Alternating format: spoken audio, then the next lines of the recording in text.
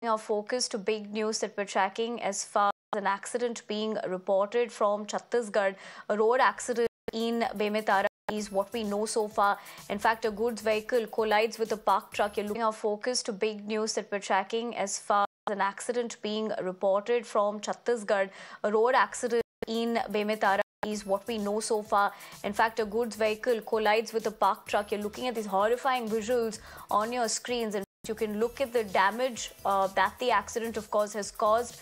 This good vehicle with passengers has met with an accident. In fact, uh, in this particular uh, incident, unfortunately, the toll has risen to nine, out of which five are women and three children were killed, and at least 23 people have been injured. We're getting you visuals of the fact that uh, those injured um, are clearly admitted the hospital as well.